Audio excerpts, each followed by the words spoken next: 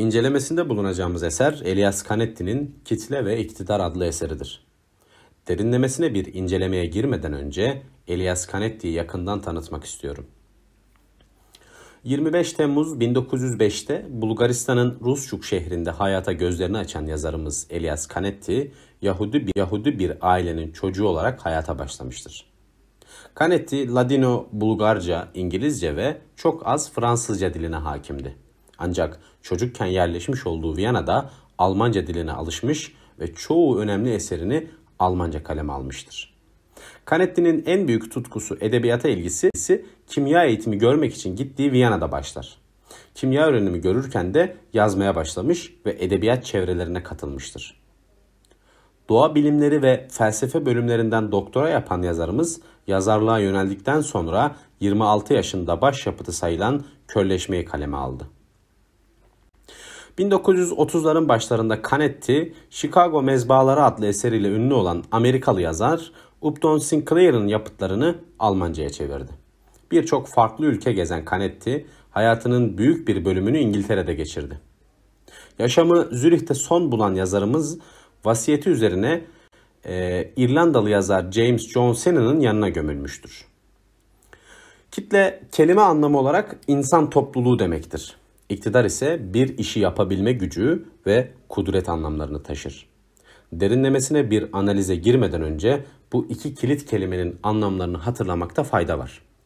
Elias Canetti yaşamı boyunca İç, İkinci Dünya Savaşı da dahil olmak üzere birçok büyük kitlesel eylemlere tanıklık etmiş bir yazardır.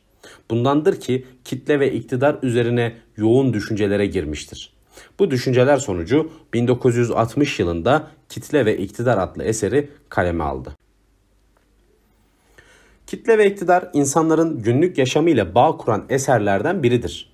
Canetti uzun süren incelemelerini ve düşüncelerini bu eserde bir araya getirmiştir. Eserimizin tamamlanması 30 yılı bulmuştur ve bundan kaynaklı bir eser haline gelmiştir. Bu okuyucu açısından kopmalara yol açmış ve istenilen duygunun alınmasını biraz zorlaştırmıştır. Eserimiz yöneten ve yönetilenler arasındaki bağı incelemiş, yer yer yönetilen gibi okumaya, yer yer ise yöneten gibi okumaya çekmiştir. Giriş bölümümüzde eser bireyler üzerindeki kitle psikolojisini ele almıştır. İnsanların dokunma korkusunu bireyler ile aralarına koydukları mesafeler ile açıklamıştır. Kitleleri dağıtan en önemli unsur paniktir. Panik halindeyken tüm kitleler dağılır. Ancak burada kitleleri panik halinde dahi bir arada tutacak şey korkudur.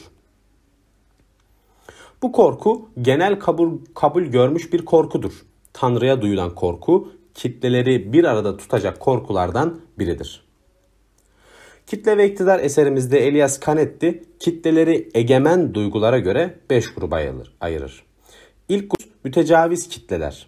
Saldırgan yapıda olan bu kitlelerin saldırgan yapıları kısa sürede gerçekleşmesini istedikleri arzularından kaynaklıdır. Diğer bir grup kaçış kitleleridir. Tehdit altında olan insanların kaçmaya çalışmasıyla oluşan kitleler. Daha önce ortak bir çatı altında bulunmamış birey, bulunmamış bireylerin tehdit altında birleşerek kitlesel olarak kaçışlarını aktarır. Burada Canetti'nin şöyle bir analizi var. Kaçışlar kitlesel olsa da dönüşler hep bireyseldir. Diğer bir grup yasak kitleleri. Bireylerin rutinlerinde kendilerine yasak koyarak oluşturulan kitlelerdir. kitlelerdir. Yasağa itaat etme serüvenine göre kitleye bağlılık dereceleri ortaya çıkıyor. Bir diğer grup karşıtına dönüşen kitleler. Ezilen bireylerden oluşan kitlelerin güce sahip olduktan sonra ezen kitleye dönüşmesini karşıtına dönüşen kitleler olarak aktarmış. Son grubumuz şölen kitleleri. Canetti şölenler aracılığı ile insanların bir araya gelmelerini ve bu şölenlerin gerçekleşmesine imkan sağladığını düşündükleri iktidara şükranlarını sunduklarını aktarır. İnsanlar bireyler ile aralarına mesafe koyarlar. Bu bir koruma bir koruma güdüsüdür. İnsanların kendilerini ve kendi benliklerinde yatan korkularının açığa çıkmasını koruma güdüsü. Bu noktada kitleler insanların korkaklığının kaybolduğu yerlerdir. Kitle içerisinde bireyler bu korkulardan sıyrılır. Aslında sıyrılmak sayılmaz. İnsanlar kitle içerisinde fark edilmediklerini düşünürler. Bireylerin birbirleriyle olan ilişkileri noktasında emir, insanları psikolojik bir saldırganlığa itmiştir. Aslında bireyler günlük yaşam içerisinde birçok emir, emir alırlar. Ancak psikolojik sorunların yaşandığı emir bireyleri harekete geçirmek yakan emirlerdir. Bir emir insana yabancı bir şey ama aynı zamanda kaçınılmaz bir şey olarak görünür. Emir yabancılaşma yaratabilir çünkü bize dışarıdan dayatılır. Her emrin bir kuvvetten ve sızıdan oluştuğunu belirtir Canetti. Kuvvet, emri alanı eylemde bulunmaya, emrin içeriğine uygun olarak eylemde bulunmaya zorlar. Sızı ise emre uyanın içinde kalır. Emir normal olarak ve belirlendiği gibi işlevini görse de sızıya dair gözle görülebilen hiçbir şey yoktur. Sızı saklıdır. Orada olduğu gibi sezilmez. Varlığını yalnızca emre uyulmadan önce açığa çıkan belli belirsiz gönülsüzlükle açığa vurur. İşte bu sızı insanın içinden çıkmaz. Çünkü insanın bütün psikolojik yapısında sızı kadar değişmez bir gerçek yoktur. Bir emir yerine getirilmesiyle sona ermiş sayılmaz. Emir sonsuza kadar saklanır. İnsanı başarı yönünde tetikleyen şey bir zamanlar ona verilmiş olan emirlerden kurtulmak için duyulan derin arzulardır. Ve bu noktada şahsi bir pencere açacak olursam eyleme dönüşmeyen arzular ruh bozukluğuna yol açar. Yalnızca yerine getirilmiş olan emir boyun eğen kişide sızılarlamış olarak bırakır. Savuşturulmuş emirlerin depolanmasına gerek yoktur.